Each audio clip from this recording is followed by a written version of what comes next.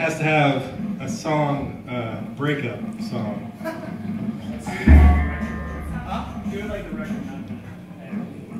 You said you would like the record? Do it like the record. Like the fancy